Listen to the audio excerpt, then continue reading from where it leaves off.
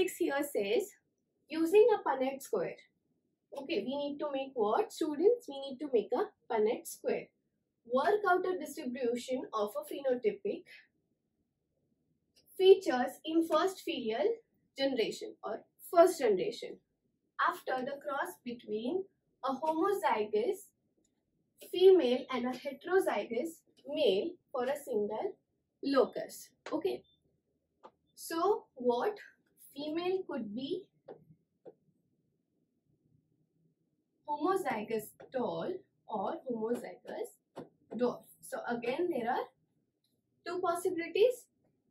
Male is what? Heterozygous.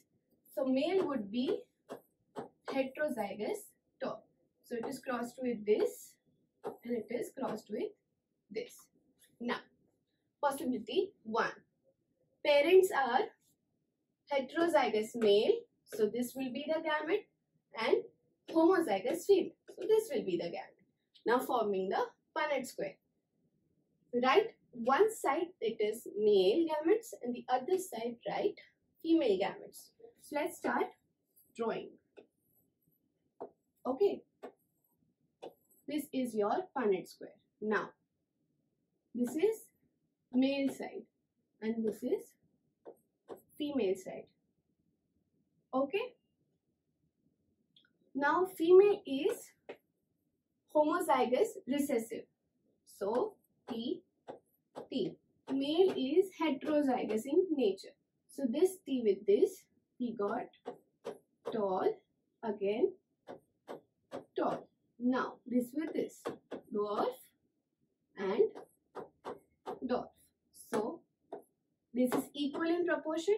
So, either 2 is to 2 is the ratio or 1 is to 1 is the ratio. So, 50% of the offspring would be either tall, heterozygous tall or 50% of the offspring would be homozygous dwarf. phenotypic ratio in F1 generation is of tall is to dwarf is 2 is to 2 or 1 is to 1. Now, one possibility complete. We are doing the other one. Now, going ahead with possibility number 2. So, the possibility 2 will be what?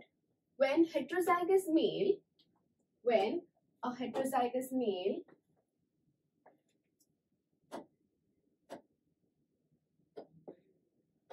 male is crossed with a homozygous female. Now in this case, female is what? Homozygous tall. Now, let's make a Punnett square.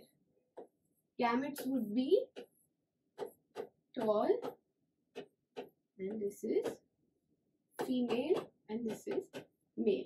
Now, this will be homozygous tall.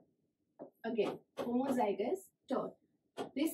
Will give you what? Heterozygous tall and again heterozygous tall.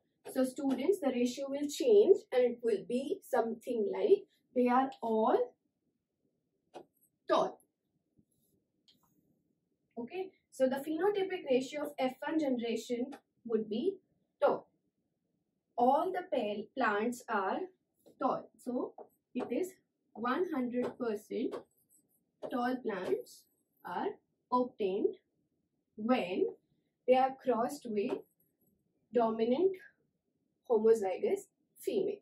Okay students, so we are done with question number 6.